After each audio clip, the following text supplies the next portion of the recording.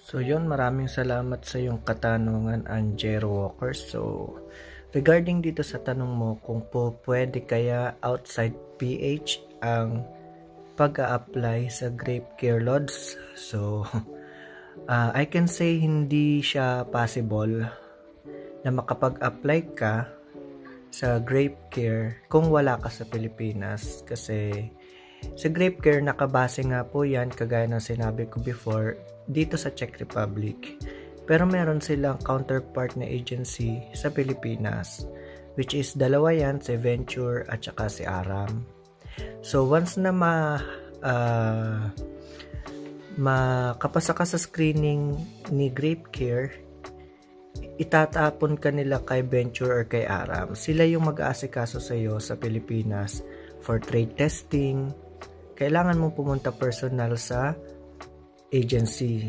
So kung wala ka sa Pilipinas, paano ka makakapunta 'di ba ng agency? Kaya imposible po 'yon dahil so far ang mga Pilipino ay doon lang din talaga po pwedeng mag-apply. Okay?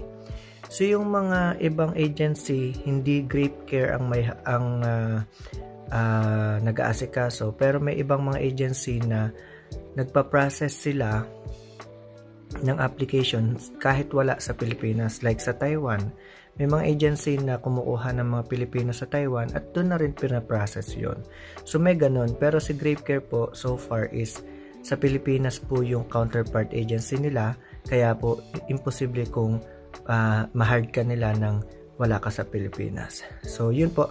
Sana ay nabigyan ko ng kasagutan yung iyong tanong at kung may katanungan ka pa pwede ka pa rin mag-comment uh, para po masagot ko ulit yan sa susunod kong video. So yun po at maraming salamat sa pagsuporta at pag-follow sa akin dito sa TikTok. So pwede nyo din ako i-follow sa aking YouTube. Same lang Arvin C Vlog.